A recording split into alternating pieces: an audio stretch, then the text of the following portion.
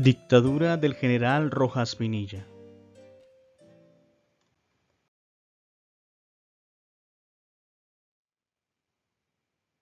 Nació en Tunja el 12 de marzo de 1900 y falleció en Melgar el 17 de enero de 1975. Fue un militar, ingeniero civil, político y presidente colombiano, quien tras el golpe de Estado que le dio el presidente Laureano Gómez, ocupó de facto la presidencia de Colombia del 13 de junio de 1953 al 10 de mayo de 1957.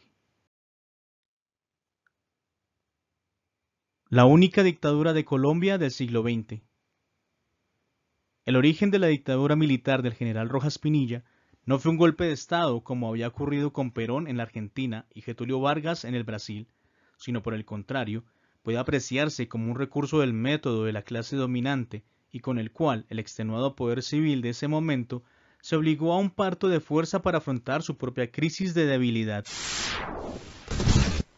En efecto, la violencia guerrillera y no tener su control hicieron que la hegemonía liberal conservadora en el gobierno acudiera al poder de los militares y depositara en ellos el dominio del Estado. Antecedentes El golpe de Estado fue fruto de la crisis que vivía el país desde el 9 de abril de 1948, con el tristemente célebre Bogotazo. Fue una sucesión de hechos violentos desencadenados por la muerte del caudillo Jorge Eliezer Gaitán. Caída de la dictadura.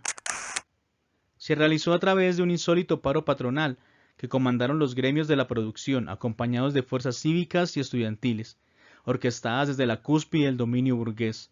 El poder volvió a las mismos que habían detentado secularmente y que durante el breve momento rojista lo tutelaron desde la sombra.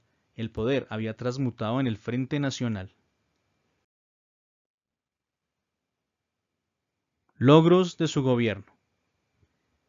Encontrar el camino para acabar con la violencia entre conservadores y liberales. Acabar con la guerra de guerrillas, concediendo amnistías. Miles de campesinos entregaron armas y volvieron a la vida civil, el Comité Nacional de Socorro con recursos para resolver los conflictos bélicos.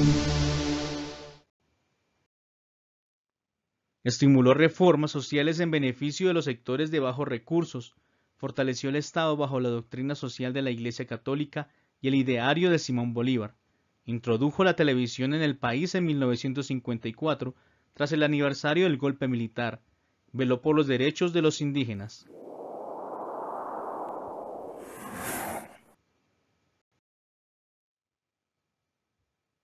Automatizó la telefonía urbana y rural, despolitizó a la policía, fortaleció la educación popular práctica y tecnológica, y estimuló programas de escuelas radiofónicas de Sutatensa, y la televisión educativa creó escuelas, colegios y universidades.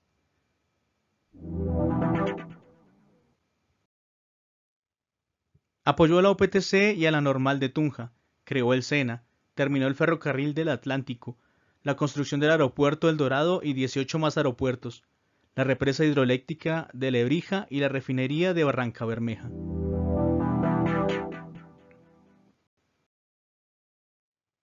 Gracias.